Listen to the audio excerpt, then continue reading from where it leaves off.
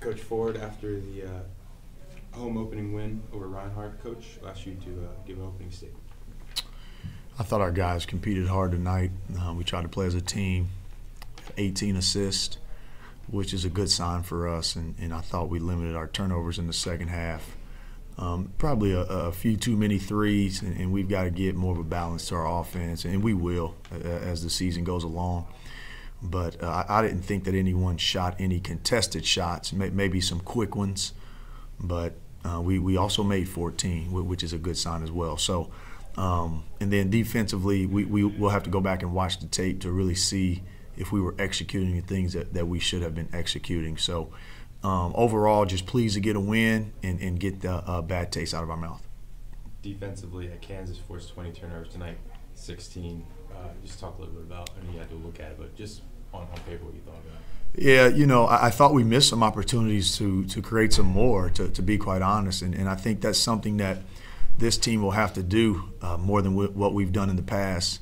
Uh, we are a little leaner, a little faster, a little smaller than what we've what we've been traditionally. So we are going to definitely have to uh, turn people over.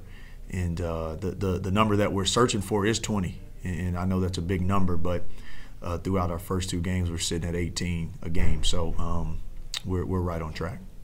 Delano with 22 points. What did you see out of him?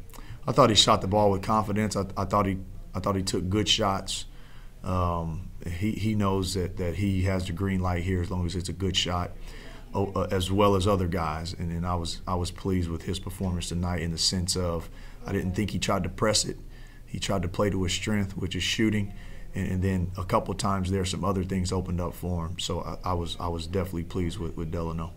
And then a newcomer, uh, McKnight with 14. It's Gotta be nice to have a new guy step up like that. Yeah, you know, we're still searching. Uh, we, we don't have a, a, rotation in place. You know, I, I know guys that have played the last couple years are going to be in the rotation, but uh, we're, still searching different uh, uh, player combinations, and, and we need to see what people can do under the lights.